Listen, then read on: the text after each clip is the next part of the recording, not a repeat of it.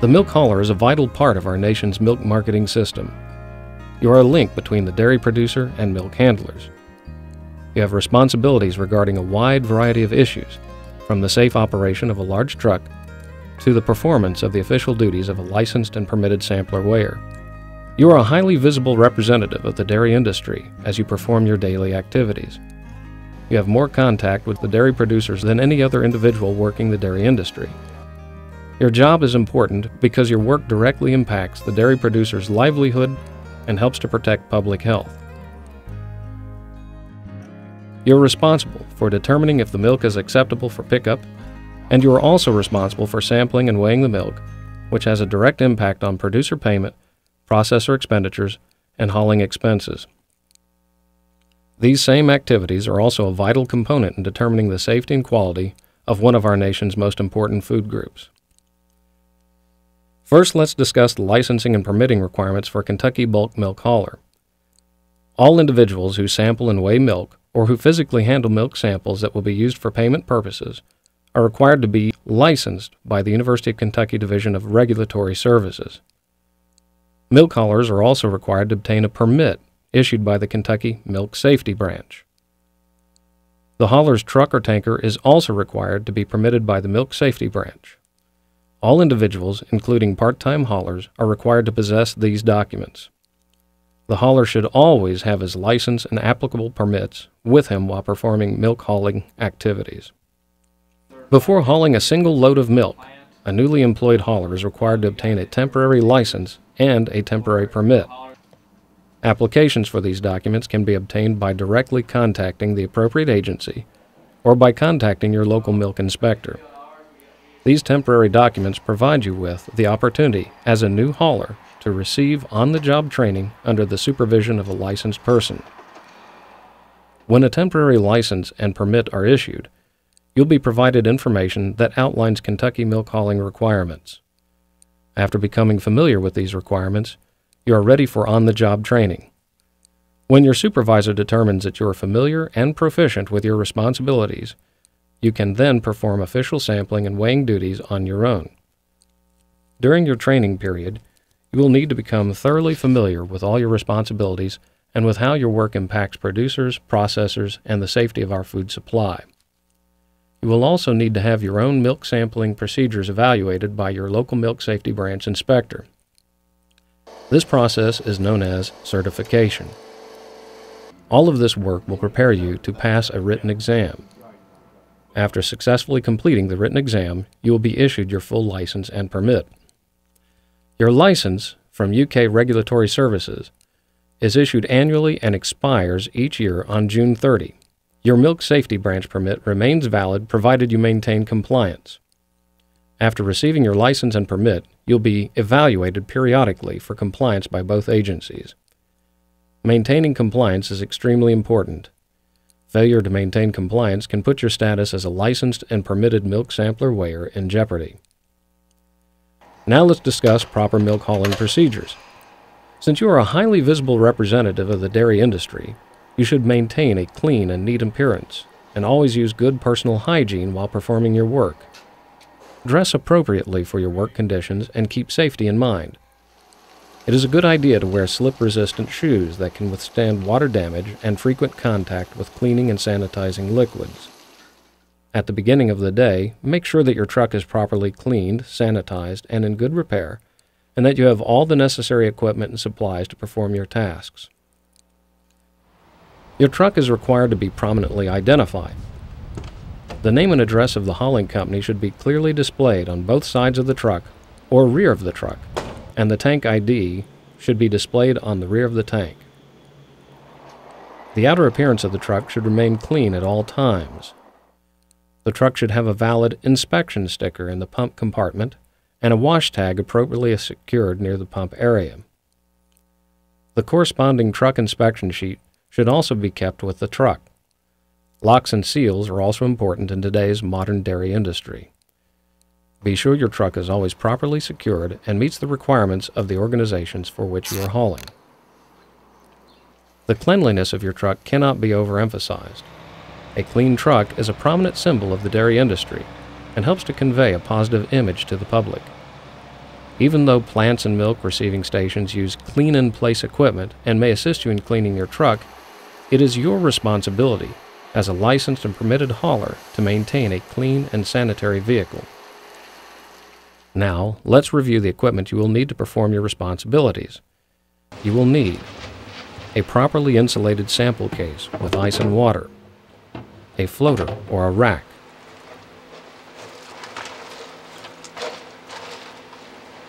an ample supply of sample containers properly stored in a secured area of the truck, a waterproof pen, a sample dipper, sanitizer fluid, sanitizer test strips, a sanitizer spray bottle, single service towels, a calibrated thermometer, an adequate supply of load tickets, and an ink pen with which to transcribe your records, and a watch to properly time farm tank agitation.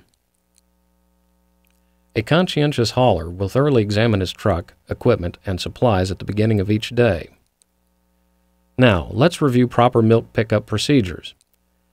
The situations demonstrated in this video represent one type of routine for making a proper milk pickup.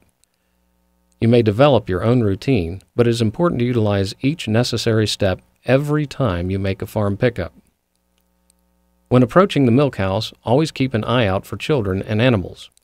Position your truck in front of the milk house in an appropriate manner to enable you to easily make the milk pickup. When making the farm pickup, be sure to limit your travel only to areas necessary to do your job. Walk directly from your truck to the milk house. Turn on the light and wash your hands. Never use tobacco or take any food inside the milk house. Now you can determine if the milk is acceptable for pickup. You will evaluate the milk for its smell, appearance, and temperature. The decision to accept or reject milk is one of the most difficult decisions you will make as a milk hauler. The friendly relationship you develop with the producers on your route can sometimes make it difficult to reject the milk in question. Nevertheless, as a milk hauler, it is likely that you will eventually encounter a tank of milk that must be rejected.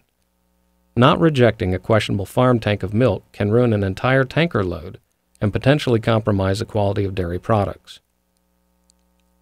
Evaluate milk odor. The ideal method for being able to make an evaluation of the milk's odor is to carefully open the tank lid and immediately smell the milk while it is agitating. Normal milk has no odor or smells sweet. Abnormal milk odors include feed odors caused by certain types of feed or feed ingredients, garlic or onion odors typically caused by pasture weeds in the springtime, malty, rancid, or sour odors which can be caused by high levels of bacteria as a result of poor refrigeration, unclean milking systems, or excessive agitation. You may also encounter other types of foreign odors. These odors are occasionally derived from cleaning solutions or sanitizers and may smell like bleach. Evaluate milk appearance. Visually inspect the milk for abnormalities with the milk house light on.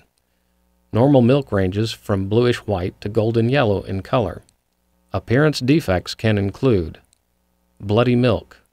This condition can be caused by milking newly freshened cows or cows with severe mastitis infections. Even a small amount of bloody milk can give milk in a farm tank a reddish tinge. Flaky milk. Flakes or curd particles may occur in milk as a result of mastitis or souring. Flakiness is often accompanied by a disagreeable odor. Partially churned milk. Fat globules floating in the milk or sticking to the side of the bulk tank can be caused by excessively agitating milk at warm temperatures. These globules can range in size from about the size of a pinhead to larger chunks about the size of a pea. Frozen milk. The presence of ice in the milk is an indication that the farm bulk tank is not operating properly. Ice particles are occasionally seen floating on the milk's surface. Large ice chunks may be observed after the tank is emptied. Excessive foaming. Foam can be caused by the tank agitator running too fast, when the drop pipe leading into the tank is too short, or when there is an air leak in the milking system. Tanks with continual amounts of excessive foam should be promptly addressed. Foamy tanks are difficult to accurately sample and measure, and the producer's milk quality test can be detrimentally impacted by excessive foam. Extraneous matter. Floating extraneous matter such as insects, chaff, or straw is a cause for rejection of milk. The presence of extraneous matter may be the result of careless handling of the milk, such as leaving the tank lid open, leaving the door of the milk house open, or improper filtering of the milk. Now check the temperature of the milk. Legally acceptable bulk milk is held within a temperature range of 32 degrees to 45 degrees Fahrenheit. However, the optimum holding temperature for milk is between 34 degrees and 36 degrees Fahrenheit. Many processors have much more demanding temperature requirements for milk they receive. Be sure to be aware of the temperature requirements for the plants to which you deliver. Make sure that each tank's thermometer is accurate by comparing it to a temperature reading obtained with your calibrated thermometer. Record this comparison on the producer's barn chart at least once per month. Your calibrated thermometer must be checked for accuracy at least once every six months. Whenever you use your thermometer, be sure to sanitize it prior to placing it in the milk. You, as the licensed and permitted sampler weigher, are responsible for conducting the initial evaluation of producer milk for acceptance. If for any reason you determine a producer's milk is unacceptable, do not pick up the milk. Notify the producer, contact the handler's field representative, and take a sample. Measuring the milk. Turn off the agitator in order to prepare for measuring the milk. To obtain a measurement, the milk must be absolutely motionless. Tanks are typically measured with either a stick gauge or a tube gauge. When using a stick gauge, wipe the stick clean with a single service towel. Gently lower the stick into the milk until it is firmly seated in its base. Raise the stick and obtain the reading at eye level. Perform this procedure until two identical readings are obtained. For tanks with a tube gauge, be sure the tube is clean. Slowly open the valve to minimize foam and obtain the measurement by reading the bottom of the meniscus with a slide gauge vernier. Convert the measurement to a weight using the bulk tank conversion chart and immediately record your measurement and weight on the milk ticket and barn chart. Sampling the milk. The dairy industry utilizes the Universal Milk Sampling System. This means the samples you obtain can be used for a wide variety of testing purposes. Each sample you take is an official sample. It is extremely important that each and every sample you obtain be a representative sample from an homogeneous tank of milk. The only way to ensure an accurate representative sample is to properly agitate each tank of milk. Be sure to allow for the proper amount of agitation time for each producer tank on your route. Always use your watch to make sure each tank is adequately agitated.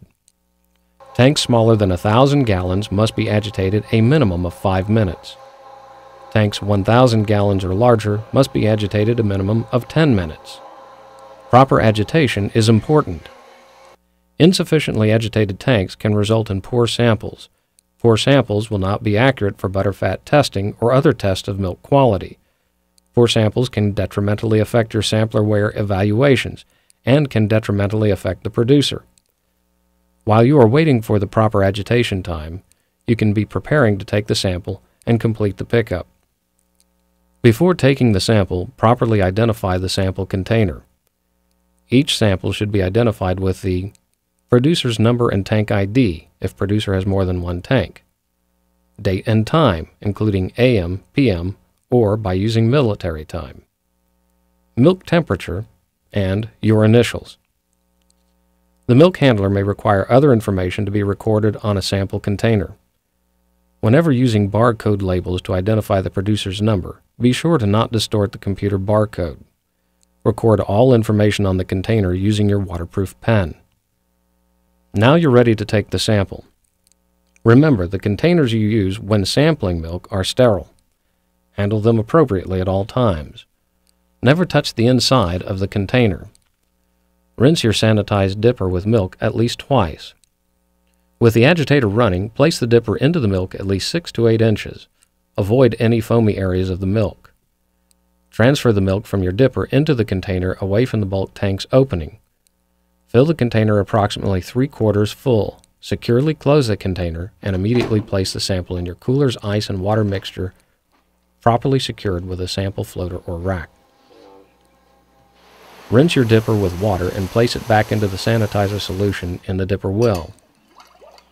Remember, never sample milk from the tank outlet valve. At the first farm pickup of each day, a second sample must be taken in the same manner as the official sample. The sample will serve as a temperature control sample and should be labeled with all the information recorded on the official sample plus the initials TC. Transferring the milk. Do not begin milk transfer until the milk has been sampled and weighed. To transfer the milk, place your truck's hose through the hose port and plug in the pump cord. Carefully examine the tank's outlet valve.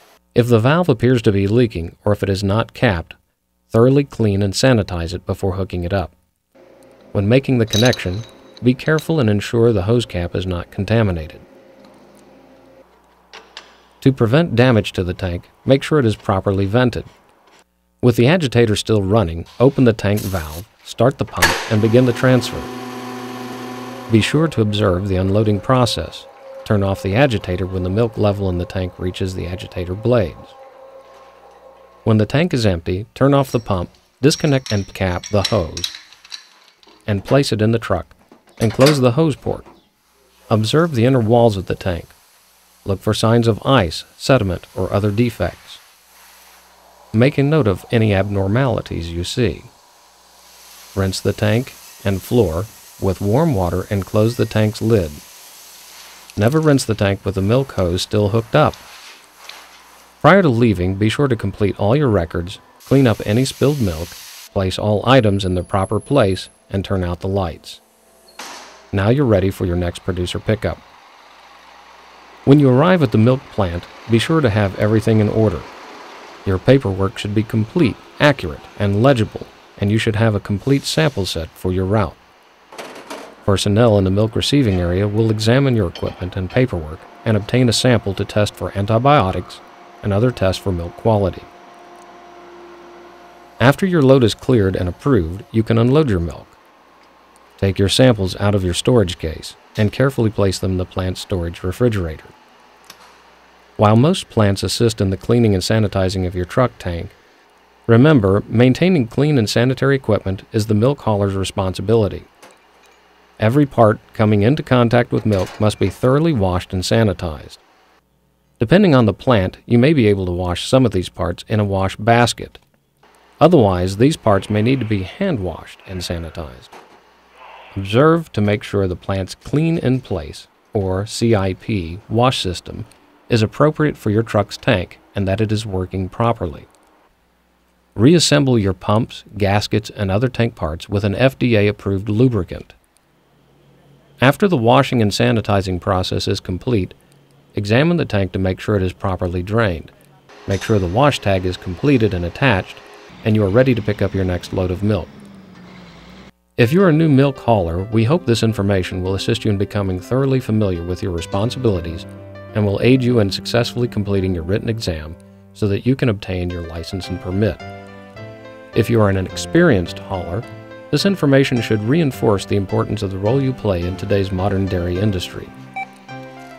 Whether you are a routine milk hauler or relief hauler, you should be thoroughly familiar with all your responsibilities.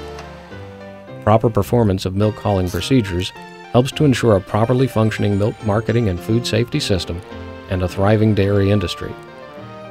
Your work impacts the dairy producer's livelihood the quality of dairy products produced for the public, and the safety of our food supply. We certainly realize you work long, hard hours, and we want to thank you for your conscientious efforts.